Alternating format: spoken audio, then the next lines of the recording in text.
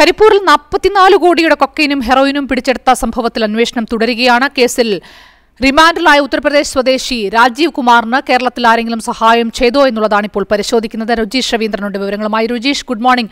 വലിയൊരു ലഹരി വേട്ടയാണ് നടന്നത്. കേരളത്തിലേക്ക് ഈ ലഹരി എത്തിക്കുന്ന സംഘത്തിലെ പ്രധാന കണ്ണിയാണ് പിടിയിലായിരിക്കുന്നത്. ഇയാൾക്ക് കേരളത്തിൽ എന്തെങ്കിലും ബന്ധങ്ങളുണ്ടോ? ഇവിടെ ആരെങ്കിലും സഹായം നൽകിയിട്ടുണ്ടോ എന്നതൊക്കെയാണ് ഡി ഇപ്പോൾ പ്രധാനമായും പരിശോധിക്കുന്നത്. ഇതുവരെയുള്ള നിഗമനങ്ങൾ എന്താണ്?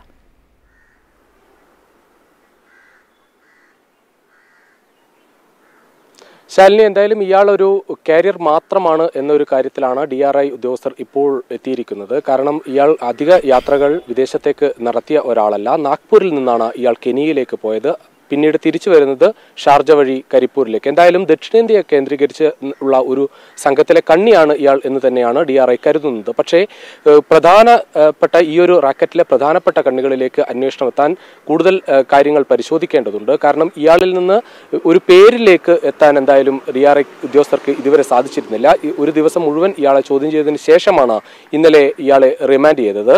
എന്തായാലും കേരളത്തിലേക്ക് ലഹരി ഈ വസ്തുക്കൾ വാങ്ങിക്കാൻ ആരൊക്കെ ഈ കരിപ്പൂരിൽ വിമാനത്താവളത്തിൽ ഉണ്ടായിരുന്നു എന്നതടക്കമുള്ള അന്വേഷണത്തിലാണ് നിലവിൽ ഡി ആർ ഐ ഉദ്യോഗസ്ഥർ. അതിൽ നിന്ന് എന്തെങ്കിലും ഒരു ലീഡ് കിട്ടിയാൽ മാത്രമേ ഈ കേസിന്റെ ഒരു മുന്നോട്ട് പോക്ക് സാധ്യമാകൂ. കാരണം ഇയാൾക്ക് ഈ അറസ്റ്റിലായ രാജീവ് കുമാർ എന്നയാൾക്ക് കൂടുതൽ വിവരങ്ങൾ ഡി ആർ ഐ ഉദ്യോഗസ്ഥരോട് ഇതുവരെ പറയാനായിട്ടില്ല.